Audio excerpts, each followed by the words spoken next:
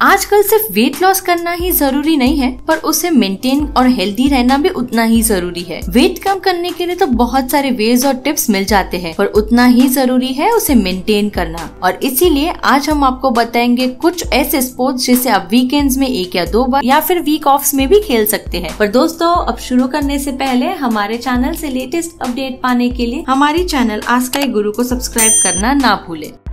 Running running एक ऐसी exercise है जो कोई भी एज ग्रुप के लोग कर सकते हैं। रनिंग में पर्टिकुलरली कोई भी रूल्स नहीं होते, इससे आप अपने कन्वीनियंट स्पीड और फ्लेक्सिबल टाइम स्लॉट में कर सकते हैं। रनिंग आपके बोन्स और मसल्स को लॉन्ग टाइम के लिए स्ट्रॉन्ग रखता है और running lung capacity calories burn और वेट लॉस में भी हेल्प करता है।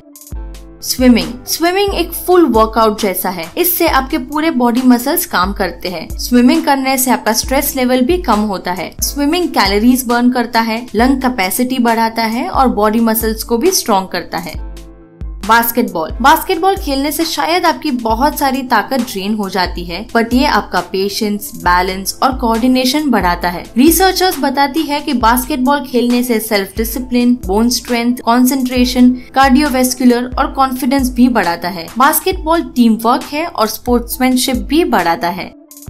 साइकिलिंग। साल भर में साइकिलिंग इवेंट्स और रेसेस बहुत बार होती है। स्पेशली मई और जून को तो साइकिलिंग मंथ भी कहा जाता है। आपको साइकिलिंग करने के लिए ज़रूरी नहीं कोई रेस या कंपटीशन में पार्टिसिपेट करना। साइकिलिंग आप अपने लीजर टाइम में भी कर सकते हैं। और यूजुअली ग्रुप में साइकिलिंग करने में ज़्यादा मज़ा आता है। साइकिलिंग आपके कार्डियोवास्कुलर वेन्स को हेल्दी करता है और मसल स्ट्रेंथ भी बढ़ाता है एंड साथ में फ्लेक्सिबिलिटी भी बढ़ाता है।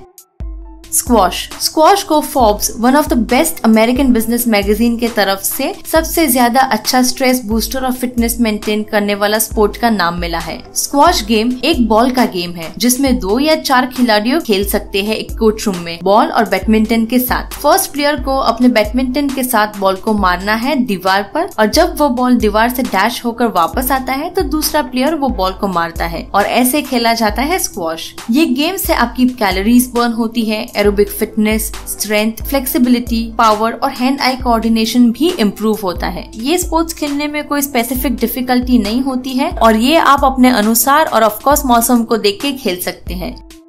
और अगर आपके पास भी इससे जुड़ी और भी कुछ जानकारी है तो हमें कमेंट सेक्शन में ज़रूर बताइए। और अगर आपको हमारा ये वीडियो पसंद आया हो तो इसे लाइक शेयर और सब्सक्राइब ज़रूर करें। और अगले वीडियो तक के लिए अलविदा दोस्तों, धन्यवाद।